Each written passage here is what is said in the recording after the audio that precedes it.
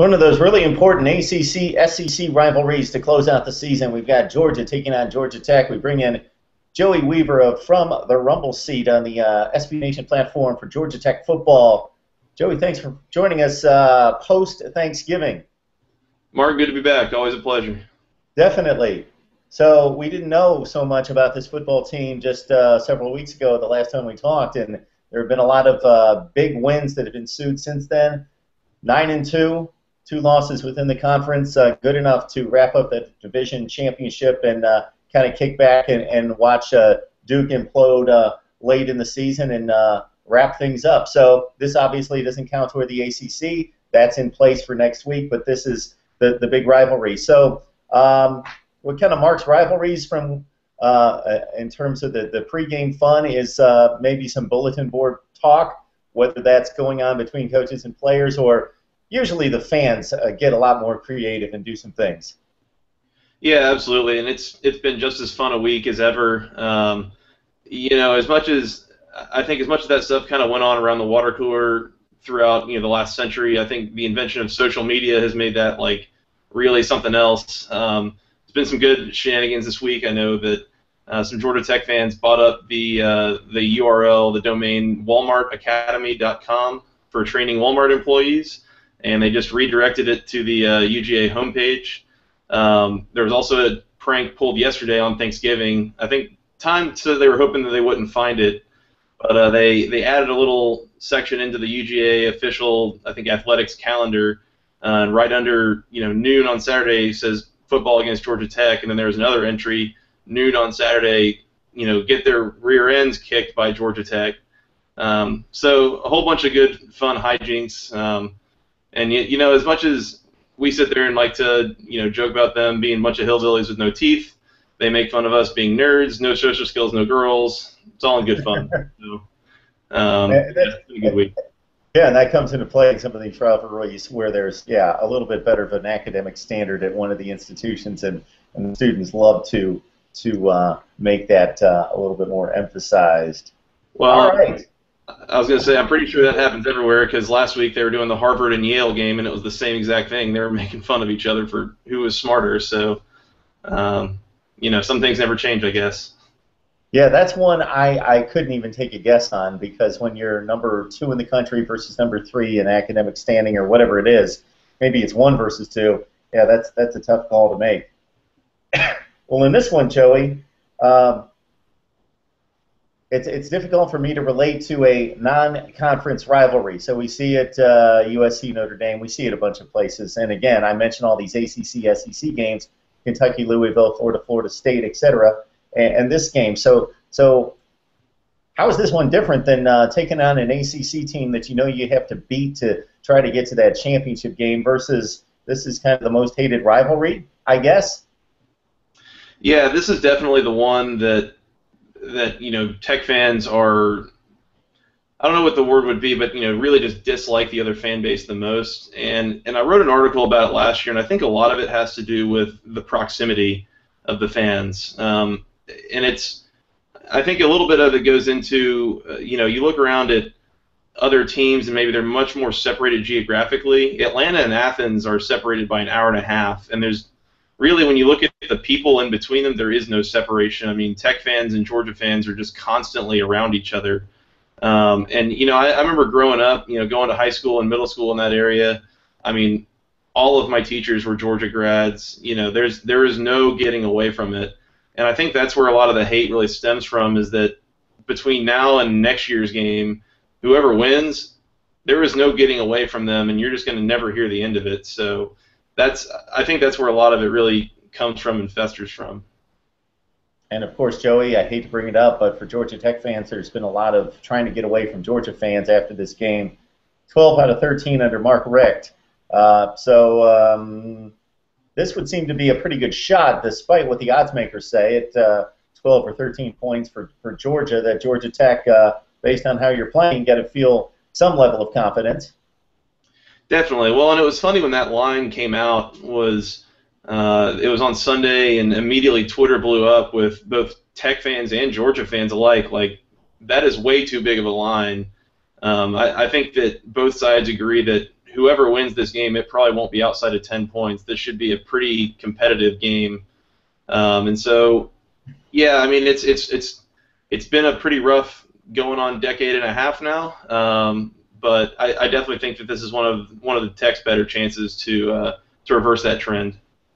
Yeah, I don't know if it makes you feel any better, Joey, but uh, in my predictions every week, I make confidence picks, and that's one of the ones I I grabbed up real quick was that Georgia Tech at 13 at the time uh, line. I think it's come back just a shade, but uh, that's pretty much what it is. And I was a bit surprised by that, obviously, as well. Um, I can understand given Georgia Tech's non-conference schedule to date, um, and then also the ACC Coastal not being the best division in the world. But after manhandling Clemson the way you did and having that common opponent uh, factor in there, and uh, you know, I expected a little bit more respect than that.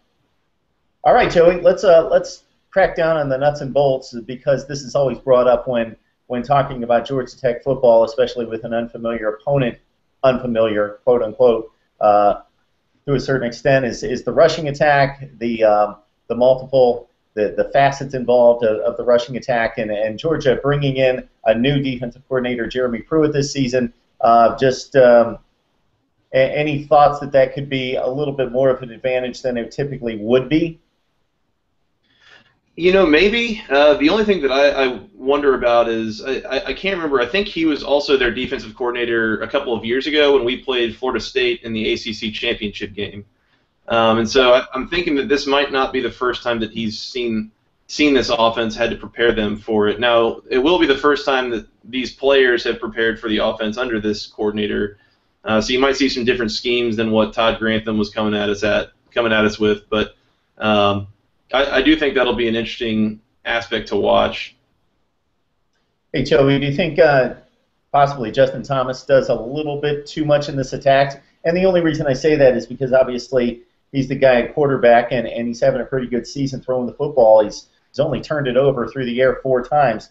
Uh, the leading rusher as well is that I, I know that's by design to a certain extent. Of course, uh, the quarterback has to be extremely um, integral to that rushing attack. But uh, being the leading rusher for this team, was it was that by design? You know, I really don't think so. I, I think a lot of where that's come from is uh, his his unbelievable speed and acceleration. He's been able to break off some really big runs a lot of times. Uh, you know, if he if he can kind of get past that first level and into the secondary, I mean, it's it's a foot race, and, uh, and chances are, if he can get more than five yards, then he's picking up 15, 20 yards at a time. Um, and he did a, he did a, a lot of that at NC State, just using his speed on the backside of a play to just run away from the defense. Um, and he's proved to, he's proved to be a handful to to, uh, to take down. And if anything, he's probably been a little too unselfish at times, you know, giving the ball away where he should have kept it. Um, he's definitely a playmaker, and, and I know that it looks like maybe he's trying to do too much himself, but it is an offense that, and he's very good at running the offense, but it's one where uh, you kind of got to take whatever the defense is giving you, and they, they're really not going to be able to take away everybody. Uh, so if they're letting him beat them, then he's he's got to go do that. Yeah, so Justin Thomas at uh, 827 yards rushing, nine touchdowns. Then you got uh, Zach Laskey, 608 and five touchdowns. Synjyn Days, 592 and three touchdowns. And I hope I don't mix up Laskey and Days because as I was following this a few weeks ago, Laskey got hurt, right? And then Synjyn Days got some uh, some uh, star time and, re- and really shown for a couple games. So so how would you expect to to see that ball distribution between those guys? Yeah, so that uh, that happened a few weeks ago. Was Laskey went out with an injury, um, and that was at the end of a UNC game that was uh, was pretty frustrating for a lot of Tech fans. Uh, and and with Days coming in, a lot of people were speculating, you know, might they pull the red shirt of of uh, C.J. Leggett, one of the redshirt freshman B-back guys. Uh, really didn't know how how Days was going to hold up, and next thing you know, he rips off three straight hundred yard games, and I mean, is really just uh, a spark plug back there, the B back. Um, made a lot of fans wonder what could have been if he had been a B back his entire career. Um, and then Las- Laskey came back for the Clemson game. Uh, he ended up, I think, only having about four carries, and Days still got a, a, majority of the workload. And I think I think it really was that big play potential that uh, that Days showed. You know, he r- ripped off a couple pretty long runs uh, that we hadn't seen from Laskey for whatever reason. Um, and so I, I, expect to see something kind of similar to what we saw in the Clemson game, where Days will get a majority of the carries, but there are definitely some things that Laskey can do that is is pretty highly valuable as well. So they'll probably work him into the game plan in different ways um, when maybe when Days needs a breather or something. Yeah, now looking at the passing attack, you, you noted a few weeks ago when we talked that uh, Justin Thomas had more t- uh, passing touchdowns than any quarterback under Paul Johnson since he's taken over at Georgia Tech. Obviously, uh, DeAndre Smelter is the guy in the passing game that gets most of the targets 32 receptions, 7 touchdowns. Um, I don't think this is much of a uh, concern for Georgia Tech because of the, the way the offense is run. Most teams, most top 15 or 20 teams, uh, have a number of targets. Sometimes we see one guy get targeted or two guys and they dominate the offense and it still somehow works. But uh, for most of the big time teams, they've, they've just got droves of of receivers after those two guys uh, that they can go to the four wide receiver sets, and a lot of guys are targets, and you don't know where the ball's going. But uh, again, I, I know I'm leading in the in the, the certain direction that uh, it's not that much of a concern, but he seems to be the guy that, that gets the targets, and, and is that uh, should that be distributed a little bit more? You talking about DeAndre Smelter? Yeah. Okay. Um, yeah, no, it's it's uh, that's definitely been the case. Is that so many of, of Thomas's pass attempts have gone to Smelter. I'd say if I had to guess, it would probably be in the 40 to 50 percent range. Um, I don't I don't think it's a problem though. I mean, it's worked out really well. Um, Smelter is a big, physical, athletic. Um, he's you know he's fast. He's got great hands. Just a, a really good receiver that'll probably end up playing on Sundays next year. Um, and and he and Thomas have this great rapport. And I think that a lot of the reason it works is that Smelter is going to get a lot of one-on-one coverage in this offense, and and it is he is not an easy guy to cover, and so he's he's able to consistently get separation and uh, and and bring come down with the ball, and so at that point, um, you know there hadn't been a whole lot of problems of balls getting intercepted.